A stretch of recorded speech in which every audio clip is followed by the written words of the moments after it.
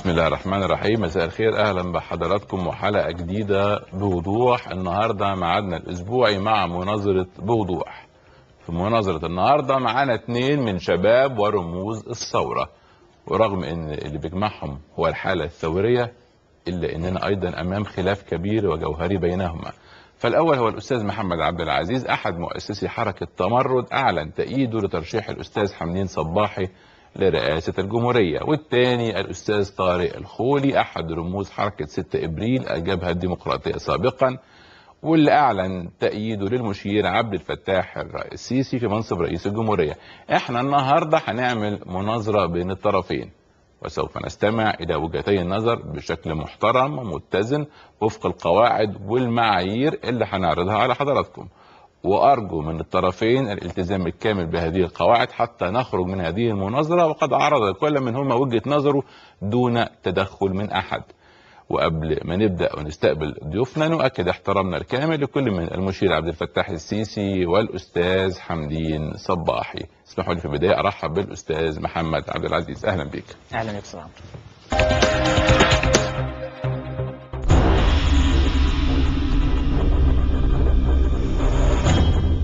محمد عبد العزيز مسؤول الاتصال السياسي لحركة تمرد التي تمكنت من جمع ملايين التوكيلات لسحب الثقة من الرئيس السابق محمد مرسي. وكان عبد العزيز أحد الشباب المؤثرين في هذه الحركة التي شاركت في صياغة خريطة المستقبل السياسي لمصر في الثالث من يوليو الماضي.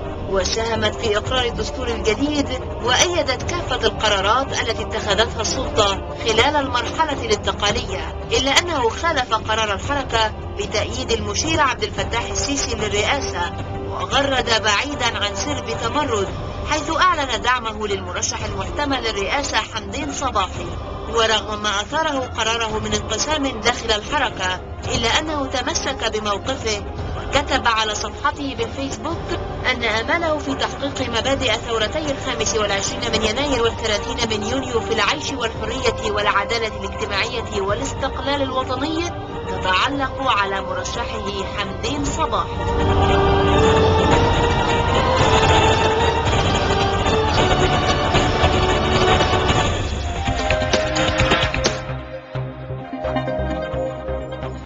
اسمحوا لي أيضا. أرحب بالطرف الثاني في المناظرة الأستاذ طارق الخولي. أهلا أستاذ طارق.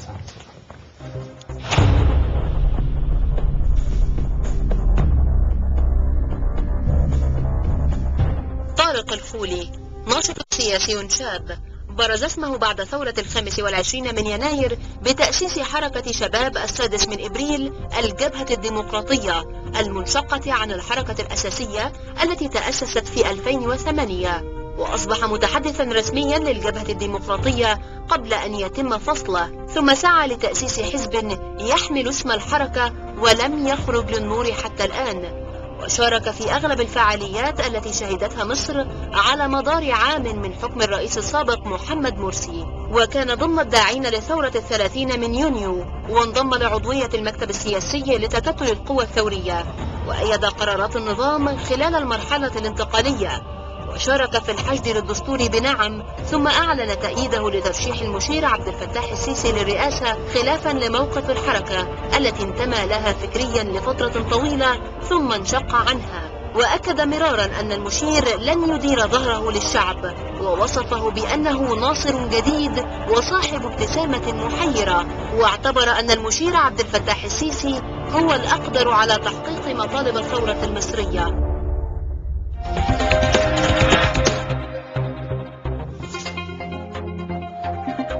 واكرر الترحاب بحضراتكم. اسمحوا لي أقول لكم القواعد الخاصة بالمناظرة. هناك ثمان أسئلة لكل طرف. مدة الإجابة على كل سؤال. دقيقتين. الأسئلة بعد انتهاء الأسئلة هناك فرصة للتعقيب لكل طرف. مدة التعقيب دقيقتين. من حق كل طرف أن يوجه سؤال للطرف الآخر بعد كل أربع أسئلة. والإجابة أيضا في دقيقتين. في نهاية المناظرة هناك دقيقة واحدة لكل طرف بيقول فيها كلمة أخيرة. من حق كل طرف طلب نقطة نظام أثناء حديث الطرف الآخر إذا خرج عن الموضوع أو تناول أمور شخصية وذلك لمرتين فقط لكل طرف. ونبدأ المناظرة. واسمحوا لي طبقا للقواعد آه عشان نشوف مين يبدأ الأول. تختار إيه؟ ملك ولا كتابة؟ كتابة. كتابة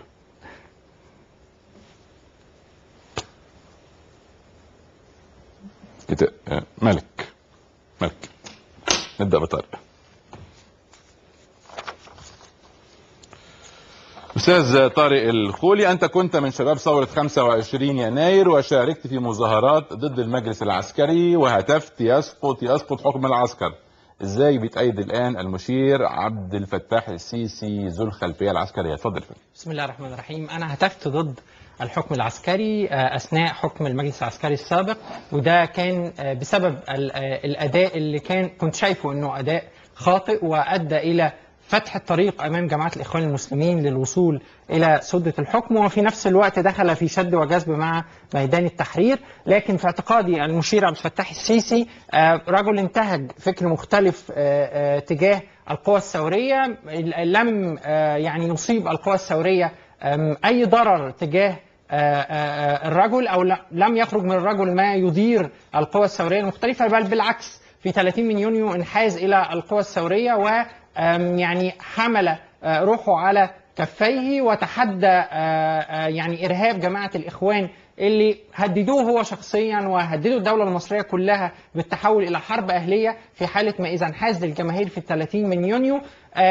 ف- فمسألة إن أنا آه، أشبه أو أتكلم عن سقوط المجلس العسكري أو إن أنا أهتف ضده فيما قبل كان لأسباب واضحة أمام الجميع أما النهاردة آم، لرجل لو كنا نحن فضلنا في ميدان التحرير وفي محيط قصر الاتحادية ل- آه، لعدة أيام وأسابيع طويلة ما ولم ينحاز لنا كنا آه، لم نصنع أي شيء بل بالعكس كان آه، ميليشيات محمد مرسي كانت ستتحرك للقضاء علينا ويعني تحويلنا أمام المجتمع بقى اننا كفار ويعني يمكن يحكموا علينا بأحكام فورية ويتم التخلص منا جميعا. لكن في اعتقادي إنه إنه السبب وراء دعمي الآن للمشير عبد الفتاح السيسي هو ما قام به الرجل في ال 30 من يونيو وطريقة إدارته لهذه المرحلة الصعبة سواء كان داخليا وخارجيا وما قام به من يعني مواجهات مع هذه الجماعة والقدرة على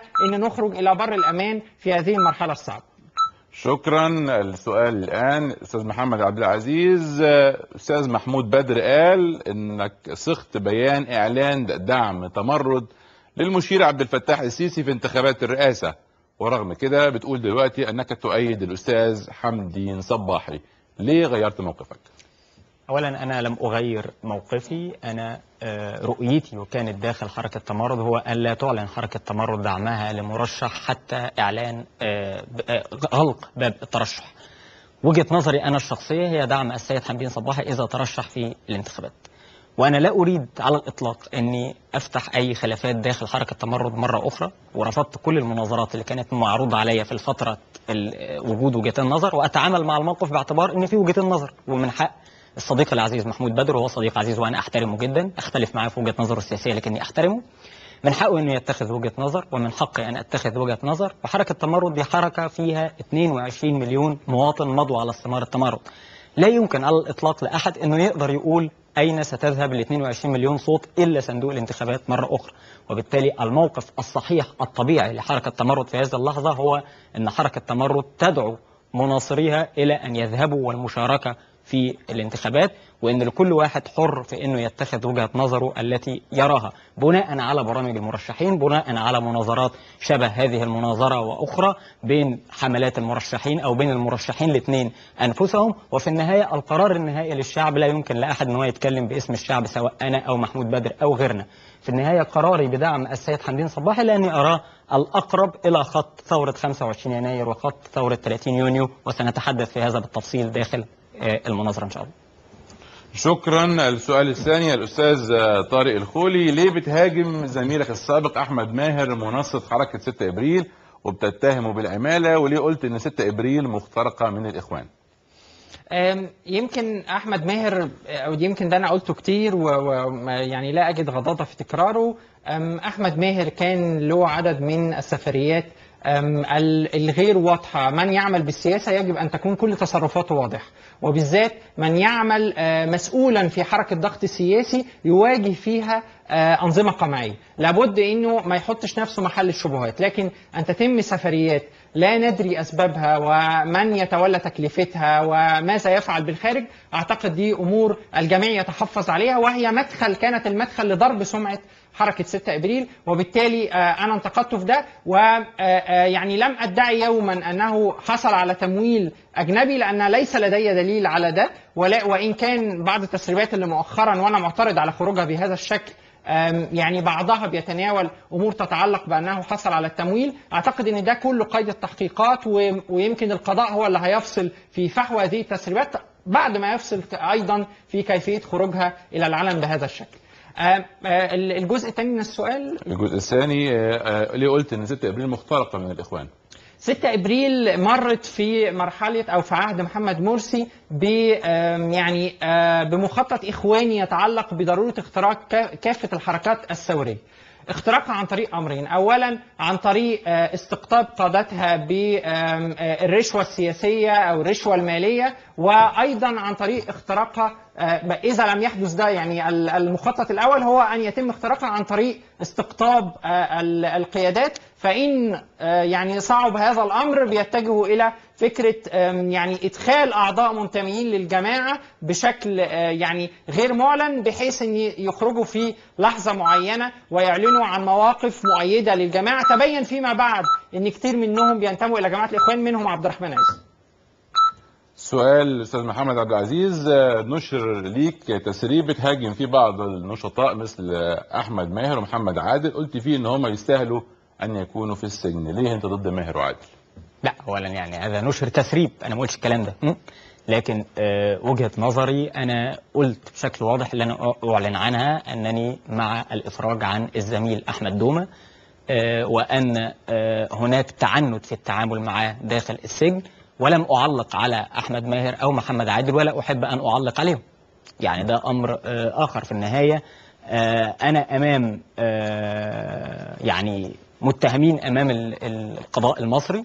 وإن كان موقفي الثابت من فكرة آه، قانون التظاهر أن قانون التظاهر يخالف نصوص واضحه في الدستور ويجب أن يعرض على المحكمة الدستورية العليا للبت في شأنه. لكن هذا التسريب أنا لم أقل أنه صحيح هذا تسريب غير صحيح بالمرة وأنا لم أعلق على أحمد ماهر ولا محمد عادل من قبل ولا أحب أن أعلق عليهم شكرا. السؤال الثالث الأستاذ طارق الخولي. أنت قلت لن يزيد منصب رئاسة الجمهورية المشير عبد الفتاح السيسي شرفا ولا مجدا. فقد دخل التاريخ بالفعل والمناصب السياسية أصبحت بالا على أصحابها وبالا على أصحابها وإنما يستكمل واجبه تجاه الوطن في وقت أصبح دوره ضروري ومصيري في سلامة الوطن. البعض شايف إن كلامك فيه مبالغة إيه ردك على ذلك؟ وهل أنت شايف أن المشير السيسي هو الوحيد القادر على قيادة البلاد؟ خلال المرحلة المقبلة. اتفضل. يمكن في الفترة ال- الأخيرة أصبح مناصب إن الواحد يتقلد منصب وزير أو رئيس وزراء أو حتى رئيس جمهورية ما بقاش شيء بي بي بيشكل واجهة اجتماعية بالقدر ال- القديم أو بالمنظر أو بالمشهد القديم. بل بالعكس أصبحت ضغط على هؤلاء الأشخاص في كيفية تقديم للمواطن المصري يعني أمور تحسن من وضعه اليومي والمعيشي.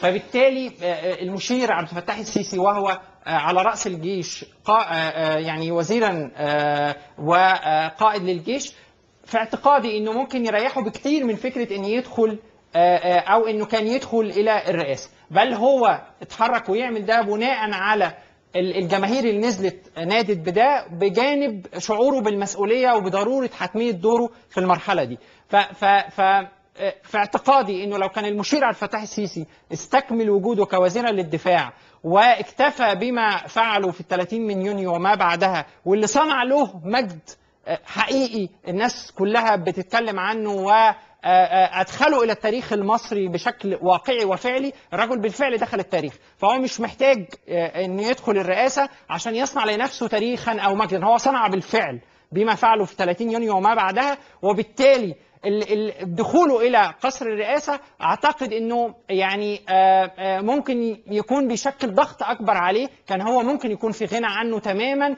وكان يستمر وزير الدفاع ويريح نفسه من أمور تتعلق بالسياسة. ومن ضغوط شديدة داخلية وخارجية هيتعرض ليها في الفترة الجاية عشان يقدر يواجه ما يحاك لمصر من مؤامرات موجودة بالفعل وأنا ضد من يسخر من وجود مؤامرات. إحنا المؤامرات بتحيط بينا من كل جانب من ليبيا والسودان وسوريا وفي كل الدول العربية في محيط المصري يتم تقسيمها الآن بجانب آه، ال- الوضع الداخلي الصعب من آه، آه، حال المعيشة المصرية أو معيشة المواطن البسيط. أستاذ محمد عبد العزيز بعض بيقول أن السيد حمدين صباحي مرشح لتجميل صورة الانتخابات الرئاسية وإعطاء شكل ديمقراطي للعملية وإنه فقد كتير من شعبيته اللي حصل عليها في الانتخابات الماضية.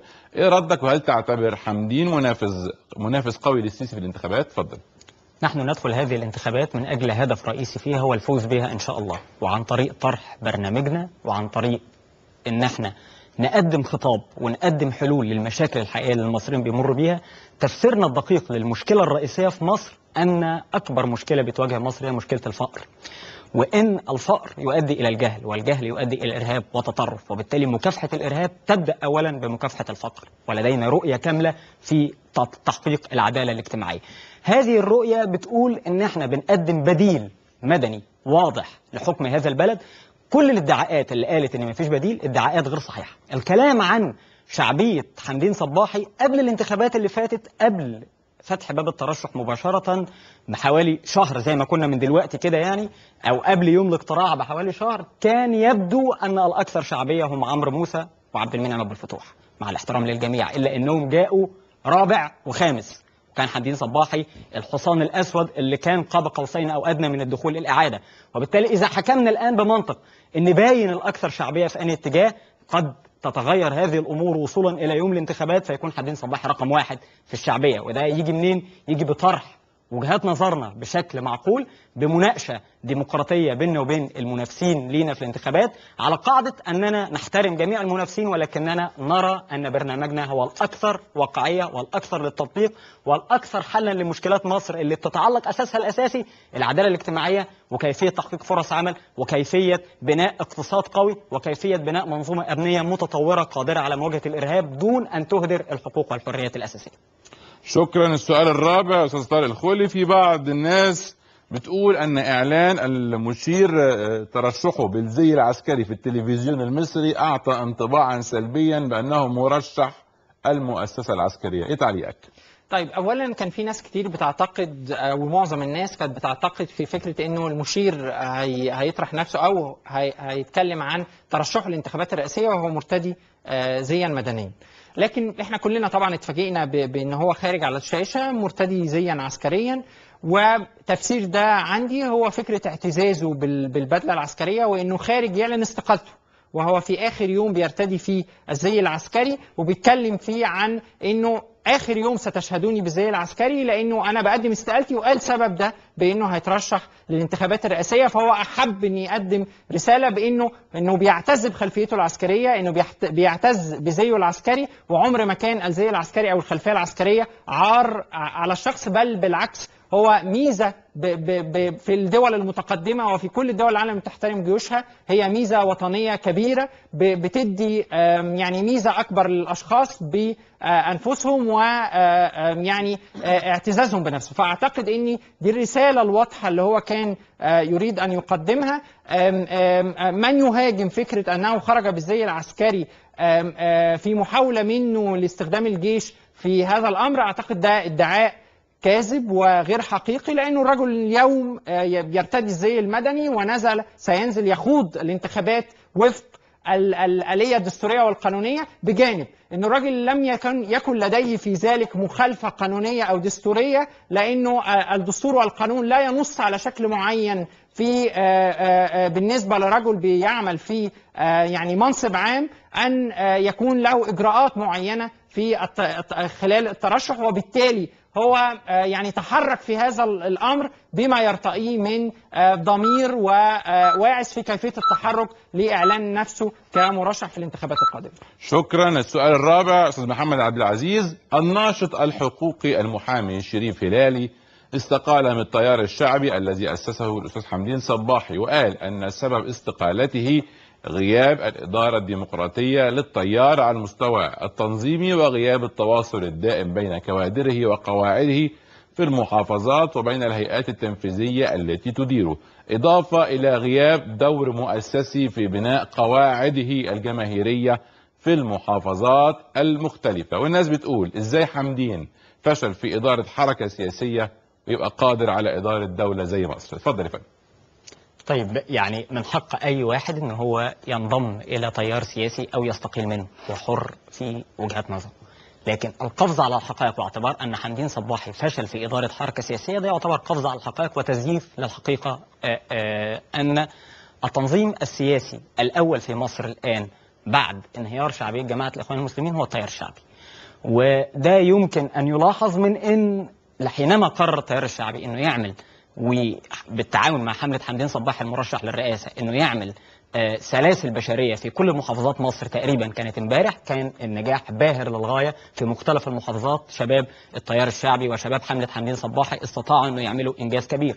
لو نرجع بالتاريخ لورا أن أول مواجهات بين الإخوان وبين تنظيمات مدنية كان التيار الشعبي رقم واحد.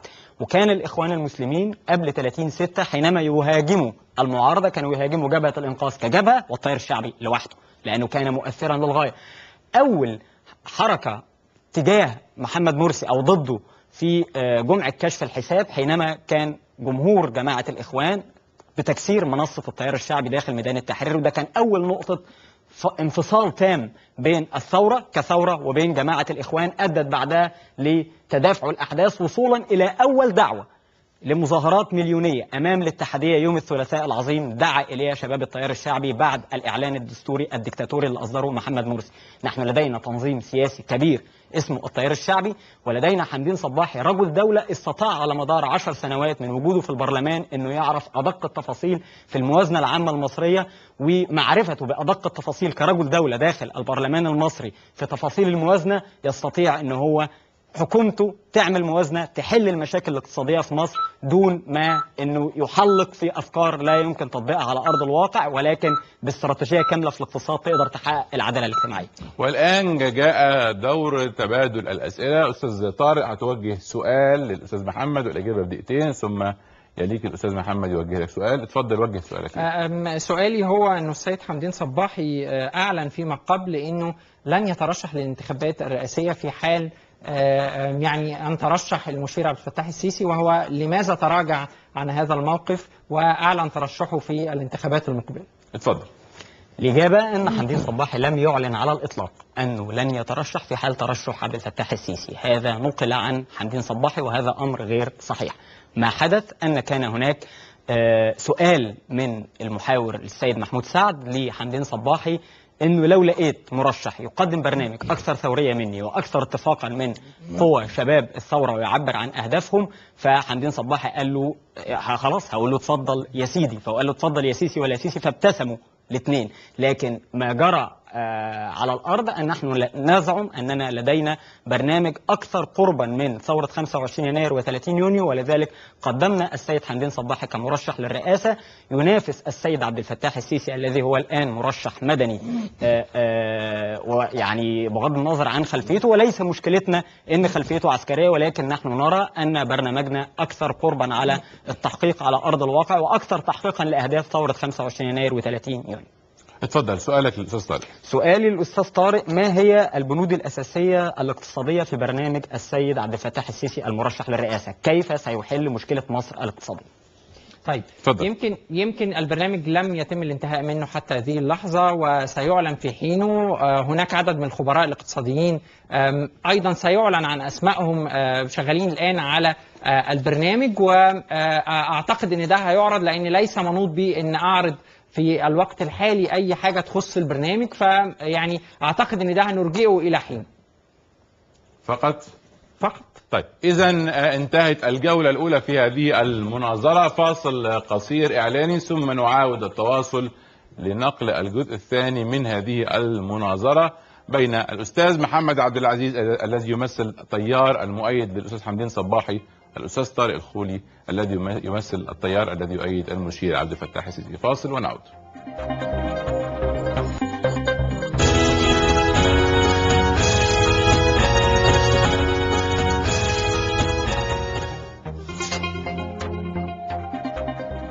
أهلا بحضراتكم مرة تانية في الجزء الثاني من المناظرة بين كل من الأستاذ محمد عبد العزيز المؤيد للأستاذ حمدين صباحي والأستاذ طارق الخولي المؤيد المشير عبد الفتاح السيسي. السؤال الخامس الأستاذ طارق الخولي قلت لو نزل مؤيدو السيسي والمحتفلون بالدستور والذكرى الثالثة للثورة سيختفي من المشهد الطامعون والمستفيدون من الثورة. ومن بينهم الإخوان لأن السيسي هو الرجل الذي سيحقق أهداف الثورة بالدراع. من هما الطامعون والمستفيدون من الثورة؟ اتفضل. يمكن ال ال في في ناس كتير بتحاول إنها تستفيد أو تاخد الثورة دايما سواء كان في 25 يناير أو 30 يونيو لأمور تتعلق بمصالح خاصة سواء كانوا أشخاص أو جماعات أو غيره. في اعتقادي إحنا محتاجين آه، زي ما قال الأستاذ محمد حسنين هيكل إن يكون يعني ال- القوة وال- والسلطة تجتمع في في مكان واحد. وفي اعتقادي ده بيتوفر في المشير عبد الفتاح السيسي عشان كده بقول إنه الوحيد اللي يقدر يحقق مطالب الثورة بالدراع. ويمكن آه، زي ما محمد آه، كان بيكلمني حوالين أفكار تتعلق بالجزء الاقتصادي في البرنامج فيما يتعلق مثلا بكيفية إنه الرجل يتحدث إلى الناس بأمور تحتاج آه، بأمور تحتاج إلى آه، يعني إجراءات معينة من من ال- ال- الجماهير تتعلق بالاقتصاد. آه، مثلا مصر بتواجه مشكلة كبيرة فيما يتعلق ب 200 مليار سنويا إلى 300 مليار دعم طاقة. ك- دول إحنا تقريبا سنويا بناخدهم من من كنا بناخدهم من أمريكا والغرب ودلوقتي بناخدهم من دول الخليج. دي دي حاجة محتاجة إلى حل مشكله حقيقية محتاجة حد الناس تصدقه وتثق فيه مش بس تصدقه الناس محتاجة رجل تثق فيه بحيث إنه لو قال لهم اصبروا معايا آه، إحنا محتاجين نعمل إجراءات أو تصرفات شخصية من كل واحد فينا بشكل معين عشان نقدر نخرج من العصرات الاقتصادية الناس تصدقه وتثق فيه.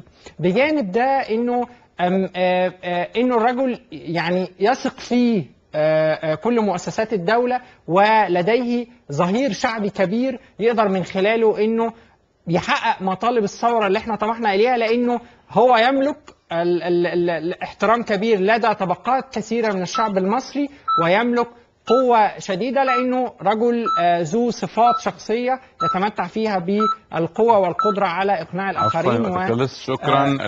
الأستاذ محمد عبد العزيز السؤال الخامس. إزاي الأستاذ حمدين صباحي مؤسس التيار الشعبي يؤمن بالفكر الناصري؟ يقول إنه يرفض تأييد ترشح المشير عبد الفتاح السيسي للانتخابات الرئاسية المقبلة لكونه شخصية عسكرية مش الرئيس جمال عبد الناصر. كان عسكري برضه في الجيش؟ اولا هو السيد السيد حمدين صباحي لم يقل ذلك لكن م. وأنا في رأيي هي مرشح مدني في مواجهة مرشح عسكري لأن إحنا عندنا مرشح عسكري يعني عندنا رئيس عسكري كان زعيم عظيم زي جمال عبد الناصر بس جمال عبد الناصر لما حب يحل مشكلة الاقتصاد جه على الطبقات الأكثر غنى وليس على الطبقات الأكثر فقرا طلب منهم التقشف أو طلب منهم إنهم يتخذوا إجراءات لصالحهم ولذلك على سبيل المثال إحنا نقطتنا الرئيسية في دعم ال- ال- الطاقة وإحنا عندنا حل في البرنامج وأنا لما بأيد مرشح ببقى عارف برنامجه مش بأيد المرشح بعدين استنى برنامجه في برنامجنا واضح إن إحنا قايلين في دعم الطاقة المصانع كثيفة الطاقة اللي هي بتبيع ال- المنتج بتاعها بالسعر العالمي بس بتاخد الطاقة مدعمة دي لازم الطاقة الدعم الطاقة يتلغي من عليها. لكن ما أقدرش ابدا أجي جنب دعم الطاقة للراجل الغلبان اللي بيجيب سولار ولا بيجيب آه، آه، آه، بنزين لعربيته التعبانة. المشكلة ما هياش مرشح مدني ومرشح عسكري المشكلة في الأساس إن كان عندنا مدني وفاشل زي محمد مرسي وعندنا عسكري ودى البلد في داهية زي حسني مبارك. لكن المشكلة في الأساس إن من يستطيع إنه يعمل إجراءات تنحاز للفقراء مش تيجي على الفقراء. تنحاز ضد اللي سرقوا البلد مش تيجي لصالح اللي سرقوا البلد. تنحاز لصالح. الغالبية الساحقة من المصريين مش لطبقة. احتكرت أغلب الثروة والسلطة على مدار ال 30 سنة اللي فاتت. نرى أن حمدين صباحي أكثر انحيازا لهؤلاء الفقراء الاكثر انحيازا للأكثر فقرا في مصر والأكثر احتياجا للعدالة الاجتماعية. ونجد أن أغلب من أفسدوا أو أكثرهم في عصر آه، مبارك يرفضوا حمدين صباحي رفضا بينا. وبالنسبة لهم هو العدو الأول. أكتر واحد يستطيع مكافحة الفساد في هذا البلد هو حمدين صباحي. أكتر حد يقدر بالمناسبة يواجه الإرهاب باستراتيجية كاملة مش بس بالمواجهة الأمنية لأن مواجهة الإرهاب تحت- تحتاج عدالة اجتماعية علشان ما يستخدمش الفلوس وتحتاج مواجهة فكرية أيضا إلى جانب انتهى السؤال السادس الأستاذ طارق الخولي قلت لا يوجد توافق على شخص حمدين صباحي كمرشح رئاسي والترمومتر الخاص بشعبيته في النازل. انت عرفت منين إن شعبيه حمدين في النازل؟ طيب يمكن في استطلاع رأي لبصيرة. آم، آه، هذا الاستطلاع قال إنه 39% أعربوا عن رغبتهم في انتخاب المشير عبد الفتاح السيسي مقابل 1% أعلنوا عن انتخاب السيد حمدين صباحي. أنا يعني محتاج أفصل بين أمرين، أفصل ما بين آه، تاريخ السيد حمدين صباحي وهو تاريخ نضالي عظيم لا يمكن أن ينكره أحد والرجل ناضل في عهد مبارك وناضل آه، في عهد محمد مرسي وكان له دور آه، يعني كلنا نعلمه في ثورة يناير وفي 30 يونيو. لكن أنا أفصل ما بين تاريخ الرجل وما بين إمكانياته. ومن وجهة نظري آه، السيد حمدين صباحي يستطيع أن يأتي في مرحلة أخرى تكون مصر فيها في وضع مختلف ومستقر آه، ديمقراطية مستقر في بناء مؤسسات الدولة مستقر في آه، أو في حالة هدوء في عملية الاستقطاب ال- الشديدة اللي بتحدث وحالة التقطيع الشديد اللي شايفينه في المجتمع آه، من محاولة إثبات وجهات نظر متعددة من أطراف كثيرة وإنه آم، السيد حمدين صباحي يستطيع أن يأتي في مرحلة أخرى تكون الأمور مستقرة. لأنه من وجهة نظري إنه الرجل ليس عليه إجماع ثوري حتى يعني. وبعض حلفائه المقربين مثل أستاذ خالد يوسف وغيرهم يعني تنازلوا وتركوا عملية دعمه لأنهم شايفين أن الاتجاه الآن متجه إلى رجل نحتاج إلى رجل ذو مواصفات خاصة. نثق في إمكانياته وقدراته إنه آه، يستطيع أن يلملم شتات الوطن وإنه يجمع أكبر عدد من الناس يلتفوا حواليه ويعني مؤسسات الدولة تستطيع أن تثق فيه عشان يقدر إن هو ينهض بالبلاد آه، إلى الأمام. آه، بجانب ده آه، مسائل تتعلق ب يعني ما يتردد ادعاء وكذبا على الرجل بأنه لا ينحاز للفقراء وحديثا حوالين آه، أمور تتعلق بتقشف الفقراء. هذا الكلام يعني أسيء فهمه والرجل يتحدث عفوا الوقت انتهى. السؤال السادس أستاذ محمد عبد العزيز. حمدين صباحي قال إذا ترشح السيسي فسأعتبر ثورة 30 يونيو انقلاب عسكري لأن هذا المسار ليس متوقعا منذ البداية. السؤال هل حمدين يعتبر الآن بعد ترشيح السيسي أن ما حدث في 3 يوليو انقلاب؟ تجيب الكلام ده منين بس؟ هو اولا حمدين ما قالش كده خالص وأنا يعني واضح إن دي الجملة الرئيسية اللي هفضل أقولها إن حمدين ما قالش كده ده غير صحيح بالمرة. آه، ثورة 30 يونيو هي ثورة والسيد عبد الفتاح السيسي حينما يترشح هو يترشح كمدني. لدينا ملاحظة على ترشيحه بالزي العسكري. طبعا لدينا ملاحظة على ترشيحه بالزي العسكري ومش عيب إن إحنا نقول انه غلط إن هذا خطأ. وإنه من حقه طبعا من إن هو يستقيل بالزي العسكري من حقه يستقيل بالزي العسكري وكلنا نعتز بالزي العسكري ولكن مش معقول إنه يتكلم عن ملامح برنامجه أو عزم نيته على الترشح وهو يرتدي الزي العسكري. ومشكلة دخول الجيش في العملية السياسية زي دخول الدين في العملية السياسية بالظبط. لأن حينما كنا نختلف مع محمد مرسي سياسيا كان أنصار محمد مرسي يقولوا لنا أنتوا ضد الإسلام. فحينما نختلف مع السيد عبد الفتاح السيسي المرشح للرئاسة هو بيشتغل سياسة دلوقتي فيتقال لنا هل مثلا ممكن يتقال لنا أنتوا ضد الجيش على الإطلاق أنا ما أقدرش أتكلم كلمة واحدة على الفريق أول صدقي صبحي رجل وطني بامتياز بيحميني وبيحميك وبيحمي ال- الناس لأنه وزير الدفاع. لكن وحينما كان المشير عبد الفتاح السيسي وزيرا للدفاع كان رأيي فيه أنه رجل وطني وما زلت أرى أنه رجل وطني آه، بامتياز بيحميني وبيحمي ال- ال- ال- الشعب المصري عن طريق الجيش الوطني اللي هو بيت الوطنية المصرية. ما وأن أصبح السيد عبد الفتاح السيسي الآن مرشح للرئاسة فهو سياسي. وحينما يكون سياسي من حقي أناقشه في برنامجه السياسي برنامجه الاقتصادي برنامجه في آه، آه، التعليم والصحة واستراتيجيته لإدارة البلد ومن حقي أن أنتقده وأختلف معاه. دون أن يعتبر ذلك سواء كان انقلاب أو ثورة. 30 يونيو ثورة شعبية عظيمة 25 يناير ثورة شعبية عظيمة واللي ضد أي واحدة منهم لا يمكن أبدا يكون بيعبر عن إرادة الشعب المصري. شكرا. السؤال السابع الأستاذ طارق الخولي أنت أعلنت تأييدك للمشير السيسي من غير ما يعلن برنامجه. هو مش المفروض يبقى اختيار المرشحين برضو على أساس برامجهم ولا أنت طلعت على البرنامج؟ اتفضل. طيب يمكن أنا شفت أداء آه، الرجل خلال كل الفترة الماضية. آه، أنا أعجبت بشكل كبير بكيفية إدارته آه، للجيش في الفترة فترة حكم محمد مرسي وأيضا في كيفية مواجهته لما حدث من بعد 30 يونيو يوم 3 7 وغيره كيفية إدارة هذه الأزمة بالنسبة لمصر داخليا وخارجيا. فأنا شفت أداؤه فأداؤه كان بينم عن شخص يستطيع أن يقدم آه، الكثير.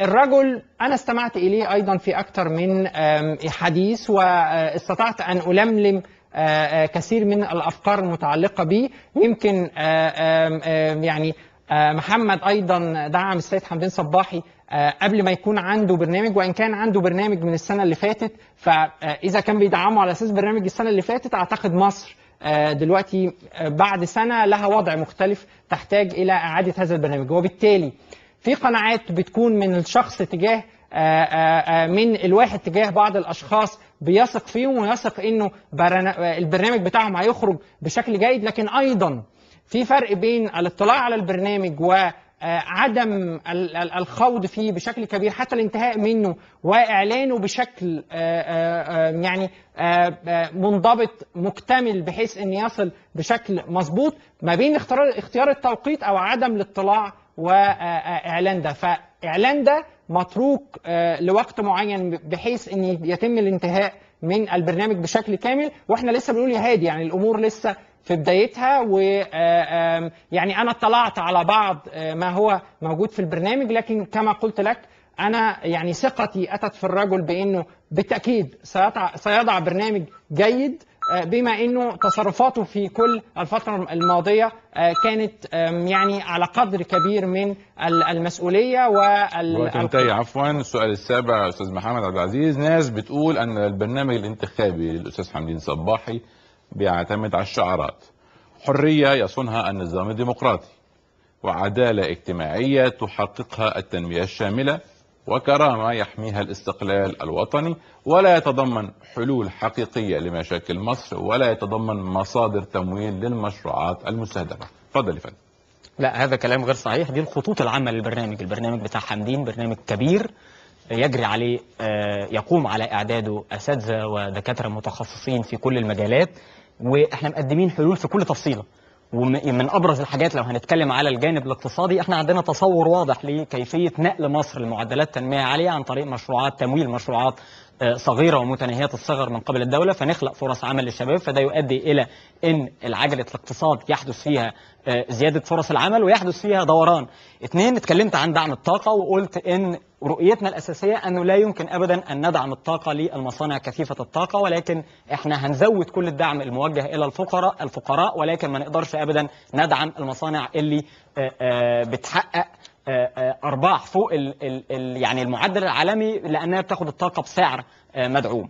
كمان إحنا عندنا تصورات حوالين مشروعات كبرى منها مثلا تصنيع الطاقة الكهربائية عن طريق الشمس وده موجود الساحل البحر الأحمر هو الأكثر سطوعا شمسا في العالم ونقدر عن طريق شراكة مع دول آه، آه، أوروبية هي عايزة الطاقة وعايزة تمول هذه المشروعات تقدر إن إحنا نصدر هذه الطاقة الشمسية اللي تقدر إنها تعمل لمصر زي اللي البترول عمله لدول الخليج. إحنا بنقدم حلول واقعية عملية لمشكلات مصر الرئيسية وعنا على المشكلة الحقيقية في مصر إنه على أرض البلد دي بيعيش أفقر ناس في المنطقة وأغنى طبقة في المنطقة. حوالي 20% يحتكروا أغلب الثروة القومية و80% لا لا يجدون شيء أو أكثر من ال 50% من المصريين تحت خط الفقر وبالتالي حل هذه المشكلات لابد أن تكون العدالة الاجتماعية في ال ال القلب الرئيسي للبرنامج بإجراءات عملية يمكن تطبيقها. أنا لما أيد حد عارف برنامجه شايف برنامجه بتاع السنة اللي فاتت وبنطور عليه لكن ما أقدرش أيد أي حد عمياني بناء على الثقة فقط. شكرا. السؤال الثامن أستاذ طارق الخولي ناس كتير من مؤيدي المشير السيسي من فلول الحزب الوطني المنحل الا ترى أن وجود رموز من ثورة 25 يناير ورموز من الحزب الوطني في خندق واحد أمر مثير للاستغراب. تفضل. طيب إذا إذا كان في ناس بتحاول إنها تركب الموجة أو تتمسح في أشخاص معينة لأطماع أو تطلعات معينة فده مش ذنب الرجل. الرجل ليس آه، آه، يعني يمكن حسابه عندما يعني آه، يدخل في وئام مع هؤلاء الأشخاص.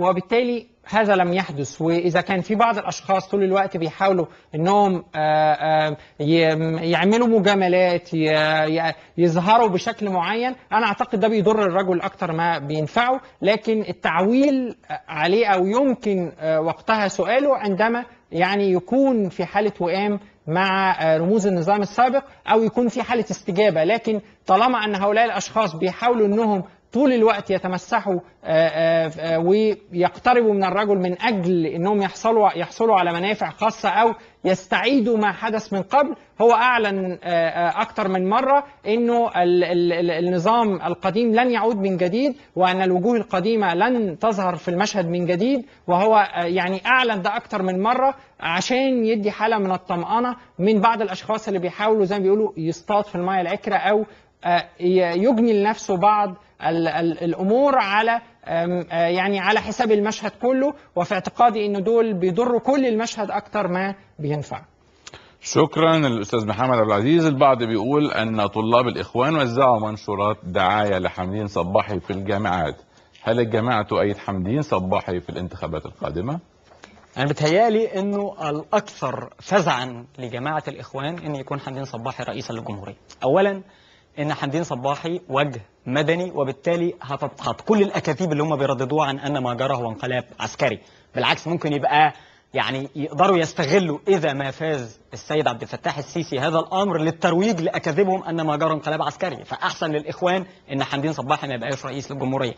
اثنين جماعة الإخوان المسلمين تعتمد على مشكلتين رئيسيتين. المشكلة الأولانية غياب ال- ال- العدالة الاجتماعية فبيستخدموا الزيت والسكر في إن هم يعني يخدعوا البسطاء من الناس. وحمدين صباحي لديه مشروع واضح جدا للقضاء على أزمة الفقر في مصر وتحقيق العدالة الاجتماعية.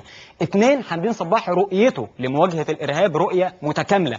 وبالتالي أنت بتتكلم عن تطوير المنظومة الأمنية لأن أفراد وزارة الداخلية وأمناء الشرطة بحاجة إلى تدريب وبحاجة إلى حل مشاكلهم اللي هم بيعانوا منها لغاية دلوقتي.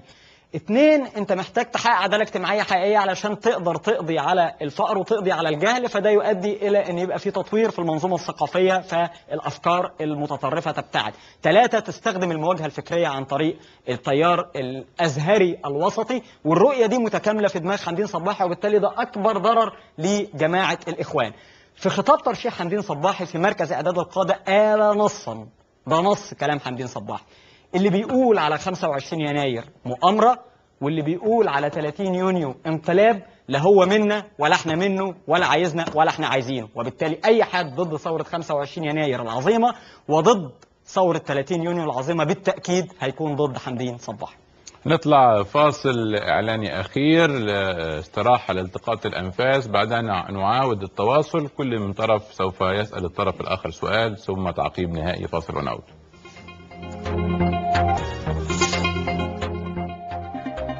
أهلا بحضراتكم من جديد في هذه المناظرة بين كل من الأستاذ محمد عبد العزيز ممثلا للكامبين أو الفريق ال- المؤيد للأستاذ حمدين صباحي أستاذ طارق الخولي الفريق المؤيد للمشير عبد الفتاح السيسي في انتخابات رئاسة الجمهورية. والآن آن أوان تبادل الأسئلة. حضرتك هتسأل الاستاذ محمد والإجابة بعد إذنكم في دقيقة واحدة فقط. طيب آه، بالتأكيد آه، بجانب البرامج آه، بجانب برنامج كل مرشح الناس بتختار المرشح على أساس تاريخه العملي على أساس آه، ادائه آم، آه، المشير السيسي على مدار السنة الماضية أعاد بناء الجيش المصري. استطاع ي- الجيش المصري آه، ترفع تصنيفه إلى العاشر آه، قوة على العالم. آه، إحنا كلنا لمسنا تطور آه، كبير في القدرة القتالية وشفنا سؤال. آه ف- فالسؤال حوالين ماذا صنع آه، السيد حمدين صباحي؟ اتفضل من سيدي. الناحية العملية على مدار السنة الماضية. دقيقة واحدة اتفضل. حمدين صباحي على مدار 40 سنة وليس السنة الماضية. هو سياسي يعمل بالعمل العام. آه، استطاع مواجهة كل النظم التي استبدت. من أول نظام السادات من هو طالب في الجامعة لنظام مبارك. قعد في البرلمان المصري عشر سنين. لمس تفاصيل الحياة المصرية وتفاصيل الموازنة العامة وتفاصيل خطط الحكومات المختلفة اللي مرت عليه وهو في البرلمان على مدار العشر سنين كان من أكثر ال- ال- المعارضين شراسة شراسة لفساد نظام مبارك والاستبداد نظام محمد مرسي وبالتالي هو يمتلك رؤية جاية من تحت. جاية من قلب المصريين جاية من حلم المصريين بتحقيق ديمقراطية حقيقية وعدالة اجتماعية حقيقية واستقلال وطني حقيقي. حمدين صباحي نموذج للتعبير اللي إحنا بنستعمله في حملة حمدين صباحي كلمة واحد مننا واحد من الشعب المصري مرشح إلى الشعب المصري. سؤالك ليه اتفضل يا سؤالي للسيد آه، صديقي العزيز طارق الخولي ما هي ال- الاستراتيجية التي يمكن أن يتبعها السيد عبد الفتاح السيسي في مواجهة الإرهاب؟ طيب يمكن آه، مسألة مواجهة الإرهاب آه، مسألة في غاية الصعوبة. أنت النهاردة عندك يعني آه، إرهاب بتواجهه بشكل مختلف. إحنا لم نعتاد في يمكن في التسعينات كان في مواجهة مسلحة مع بعض ال ال الناس اللي يعني بنسميهم إرهابيين لأنهم بيجنحوا إلى ال ال التعبير عن رأيهم أو محاولة التغيير العنيف ويمكن كان في مواجهة مسلحة كانت أسهل بكتير. النهارده أنت بتواجه إرهاب آه، في منتهى الخطورة بعربيات مفخخة بأسلوب جديد آه، يعني أتى إلى مصر عن طريق سوريا وعن طريق العراق وعن طريق أكتر. فالمواجهة بالتأكيد اللي بيتحدث عن مواجهة سياسية أنت هتواجه هتواجه سياسيا مع مين؟ مع شخص بيرتدي حزام ناسف وداخل يقتلك؟ بالتأكيد لا. إذا كنت بتتكلم عن جماعة الإخوان المسلمين جماعة الإخوان المسلمين بتحاول بكل قوة تجد لنفسها مخرج لأنها علمت أن رصيدها انتهى في الشارع والحديث عن المصالحة هو حديث كاذب لمحاولة عفوا الوقت. انتهى. ليك دقيقة تعقيب ودقيقة أخرى تعقيب. اتفضل يا فندم. يمكن أنا ب- بأكد على إنه آه، أنا في غاية السعادة ب والأريحية بنزول السيد حمدين صباحي إلى آه، هذه الانتخابات. أنا ضد أي أحد يحاول أن يجرح في السيد حمدين صباحي أو آه، يعني يعترض على نزوله آه، أو ينتقد هذا الأمر. في اعتقادي نزول السيد حمدين صباحي أمر مهم ومفيد آه، وجود انتخابات رئاسية قوية يستفيد في النهاية منها المواطن ونستفيد جميعا من مشهد انتخابي رائع. أنا آه، آه، واحد من الذين في السيد حمدين صباحي أنه كان لديه تاريخ نضالي ضد نظام مبارك وضد جماعة الإخوان لكن ما زلت عند رأيي أنه ليس بالإمكانيات الشخصية القادرة على أن تقود البلاد في مثل هذا الوقت الصعب. اتفضل تعقيب أخير اتفضل. تعقيب أخير أنا أولا سعيد بهذه المناظرة وسعيد بهذا الجو الديمقراطي اللي مصر بتعيشه. آه، ترشيح السيد عبد الفتاح السيسي وترشيح السيد حمدين صباحي المستفيد منه الشعب المصري. نحن الآن لدينا مرشحين مرشح يعبر عن قوى 25 يناير و30 يونيو والسيد حمدين صباحي بشكل أكثر قوة لدينا مرشح آخر يعبر عن 30 يونيو ربما أكثر من تعبيره عن 25 يناير لكننا نحترم جميع المرشحين ونرفض التجريح فيهم لكن نقدر نقول إنك لما ينجح رئيس الجمهوريه اسمه حمدين صباحي تستطيع أن تعارضه بديمقراطية تامة، تستطيع أن تختلف معاه كيف تريد من غير ما حد يقول لك أنت بتهاجم الجيش أو بتهاجم الدين زي ما كان بيحصل مع محمد مرسي زي ما هيحصل مع المرشح المنافس. نقدر نقول أن حمدين صباحي هو الأكثر قربا من الفئات الأكثر فقرا في مصر ويقدر يحقق العدالة الاجتماعية. هو الأكثر قدرة على تحقيق الاستقلال الوطني. هو رجل دولة بامتياز إلى الشعب المصري. وانتهت اذا المناظرة من قواعد المناظرات. ان يتم يتصافح المتناظرين. اتفضلوا توفيق. أنا بشكركم جدا. دي حلقتنا النهارده ومناظرتنا النهارده. ليا كلمة وليا تعقيب خارج إطار المناظرة. بعد ما بشكر طبعا الاستاذ محمد عبد العزيز أستاذ طارق الخولي. الكلمة عايز أقول لكم عندنا إيه بكرة وبعد بكرة. غدا عندنا آه، في حلقة غدا في بوضوح الدكتور عبد المنعم أبو الفتوح رئيس حزب مصر القوية في حلقة غدا إن شاء الله بإذن الله. حلقة بعد غد الثلاثاء الأديب الكبير الدكتور يوسف زيدان هيكون ضيفنا أيضا في بوضوح هذه الكلمة. أما التعقيب فهو سؤال أوجهه إلى اللجنة العليا للانتخابات. ما لقيتوش غير يوم 5 يونيو عشان تعلنوا فيه عن اسم الفائز برئاسة الجمهورية؟ مجرد سؤال يحمل بالتأكيد رسائل. شكرا. تصبحوا على خير